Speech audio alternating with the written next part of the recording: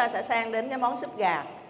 Súp gà của chúng ta sẽ có 2 lít nước dùng, các bạn đặt lên bếp và các bạn nêm vào 6 gram muối và 3 gram đường. Các bạn nấu sôi xong rồi các bạn sẽ cho gà vào luộc và chúng ta vớt ra xé nhuyễn. Giai đoạn này các bạn đã xong rồi. Bây giờ các bạn lấy bột năng. Bột năng của chúng ta sử dụng là khoảng 150 gram. Các bạn lấy, các bạn cho bột năng vô trong cái tô và các bạn cho vào thêm khoảng chừng 300 gram nước tức là một lượng bột năng thì gấp đôi cái lượng nước. Các bạn khuấy nó lên để nó thành nước bột năng. Được chưa? Thì như vậy 300 gram nước cộng với 150 gram bột năng là nó ra khoảng chừng 450 gram. Khi các bạn à, nước nó sôi lên trở lại rồi á, các bạn sẽ nêm gia vị vào. Các bạn xem đến giai đoạn thứ hai là giai đoạn nấu súp. Nêm gia vị vào, các bạn cho vào 6 gram bột ngọt và 10 gram hạt nêm. Hạt nêm này chúng ta có thể sử dụng hạt nêm gà, hạt nêm heo đều được. Các bạn nêm vào thì nhớ lưu ý khi nêm hạt nêm thì cái 10 gram này nêm từ từ một chút xíu để cho nó vừa cái vị nha. À, các bạn cứ tăng lửa lên cho súp nó sôi nó sôi xong rồi khi mà nó sôi thì mình lại bớt lửa cho nó riu riu đừng có để sôi bùng quá nước nó dễ bị đục. Sau khi chúng ta nêm gia vị xong rồi thì chúng ta chuẩn bị để cho bột năng vào nước sôi trở lại. Các bạn mới cho bột năng nha. Nhưng mà khi cho bột năng, cái nước bột năng này cũng vậy. Cho vô khoảng 2 phần 3 cái tô bột năng đó thôi. Xong rồi sau đó mình dừng lại. Mình thấy nó đặc rồi, thì mình đừng cho tiếp nữa, chứ không cho hết 100% đâu. Cho phân nửa trước. Canh cái lượng độ sánh, cho tiếp thêm đến 2 phần 3 nếu cần, dừng lại luôn ngay lúc đó nha chứ đừng có cho ào một lượng nguyên cái tô nước bột năng vô.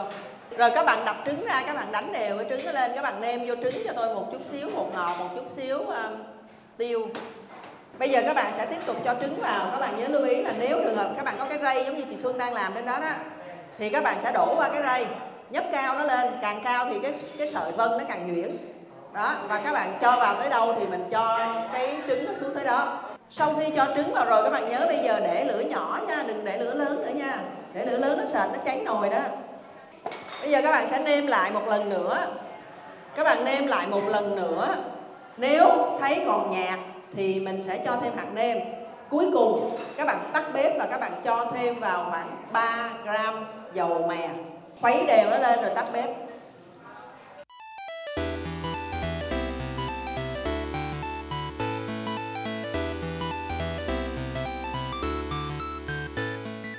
Nhóm mà đạt yêu cầu. 1, 3, 4, 7 về vị là đạt yêu cầu hết. Chỉ có là ví dụ như hơi nhạt hơn chút xíu không được ngon bằng. Do có nhóm làm hạt nêm nhiều quá bột ngọt nhiều quá hoặc là các bạn thêm chút xíu gì đó các bạn gia giảm thêm là nó ra cái vị không có đúng. Các bạn có thể nếm cái vị của nhóm 7 là cái vị hiện nay chuẩn nhất. Cái độ trong là tốt nhất. Độ chín của nguyên liệu là tốt nhất. Đối với nhóm 6 vị thì tốt nhưng mà nhóm 6 cho cà rốt vào nấu lâu quá. Nấu lâu quá cho nên cái màu của cà rốt nó bị đỏ ra. Cho nên các bạn nhìn thấy cái màu nó không đẹp bằng cái màu của cái súp của nhóm 7, nhóm 4, nhóm 3 và nhóm 1 à, đúng rồi. À, riêng hai nhóm có vấn đề lớn nhất đó là nhóm 2 và nhóm 5 nhóm 2 và nhóm 5 thì thứ nhất các bạn không bao giờ rắc quá nhiều ngò mà sắc nhuyễn vô trong cái món súp này. Món súp này nguyên vị là của người Hoa không có một chút ngò nào luôn á. Mình ăn theo kiểu Việt Nam, mình mới rắc chút ngò. Chút chút như cái kiểu nhóm 7 để vô trang trí thôi. Chứ các bạn sắc miệng, các bạn cho nhiều quá vô, nó nhìn giống như là phở gà hay cái gì á, chứ nó không phải là súp. Cái thứ hai, đục. Nó bị đục, cái màu của bột năng. Khi các bạn đánh bột năng, các bạn cho vào trong cái nồi cái nồi á, các bạn cho từ từ thôi. Các bạn nhớ là cho từ từ để làm chi? Nó vô bột năng nhiêu, nó chín bấy nhiêu, thì nó sẽ trong cái bột năng còn giống như hồi nãy anh duy cũng có nhận xét với các bạn là các bạn cho vô lúc đó nước nó chưa có sôi kỹ.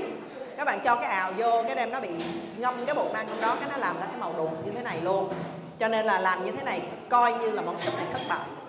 Vì lý do mà bán cho khách mà nó ra cái màu như thế này nhìn nó rất là ngán. Mặc dù ăn thì cũng được, con nít nó ăn thì cũng được, nhưng mà nhìn nó ngán lắm. Cho nên là nhóm à, 2 với nhóm 4 thì bữa nay làm à, không có đạt yêu cầu rồi.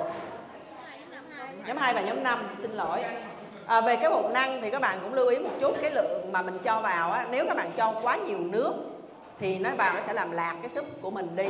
Và cái thứ hai nữa nó sẽ làm cho cái ờ, cái cái cái lượng súp khi mà mình đổ vô nó sẽ không đúng như cái đồ sánh đó. Cho nên các bạn cứ cho đúng vào một trăm rưỡi bột năng và 350 gram nước thôi thì nó ra khoảng 450 gram. Rồi mình cho vào từ từ.